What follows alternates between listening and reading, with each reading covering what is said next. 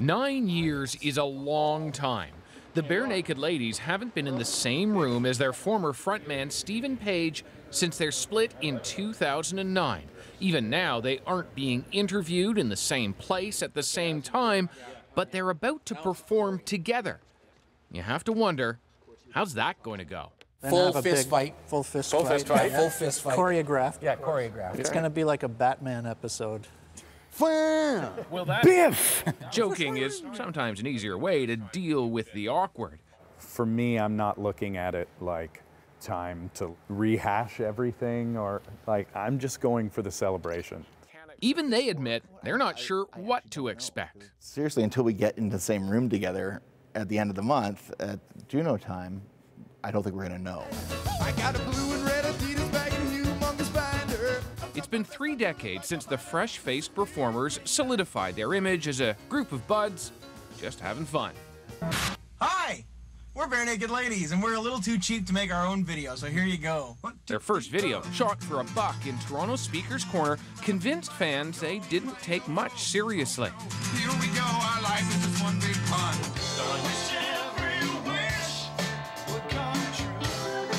But when it came to building their success, it's the hard work and sacrifice they remember. I moved the date of my wedding because we got an, I don't even remember what it was now, but we got some gig that might have been important to the career of the band. So How'd that conversation go over? it was not easy.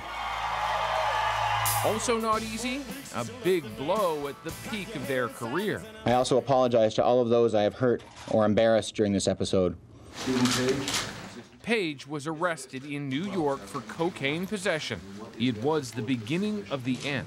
Seven months later, the band abruptly splits. Run, I tried to wait, oh brother. You turn, you cry, and stay for cover. It's been 10 years, but people ask, what happened? Why do you think people are still asking that 10 years later? Well, I think because people had their own vision of what the band was and what the relationship was between the band members. Uh, and people are nostalgic for their own impressions of what that thing was. Tell me why we never really respected each other. It's an intense sort of relationship, uh, personal and creative and business wise. So uh, we tried to deal with it in the, the best way possible. High and Canada dry. I'm out of your head and I'm losing my mind. You think of it as like a group of brothers or a group of buddies, but it's, al- it's almost more like a marriage, and it couldn't hold on anymore. But it's a breakup fans have long been reluctant to accept. It's like every day there's somebody who says, just suck it up and get back together, like as if like someone was ever going to say to anybody else, suck it up and go back to your ex-wife, even though you've moved on and you're remarried and you've got kids or whatever else it is. Lying in bed just like Brian Wilson. And both sides have moved on. Steven Page with a solo career, sometimes pairing with other musicians. I feel like a lightning strike every time I rock the mic. Barenaked Ladies, currently on tour performing songs from their new album. And some classics too, including this early fan favorite. If I had a million dollars, we build a tree fort in the yard. That's a song we played right from the beginning. Maybe even that song was the beginning of the band. If I had a million dollars. It's a song they still perform every night. But for Page, it's one of the few he's dropped from his set. For me, it's special. It's a duet between me and Ed.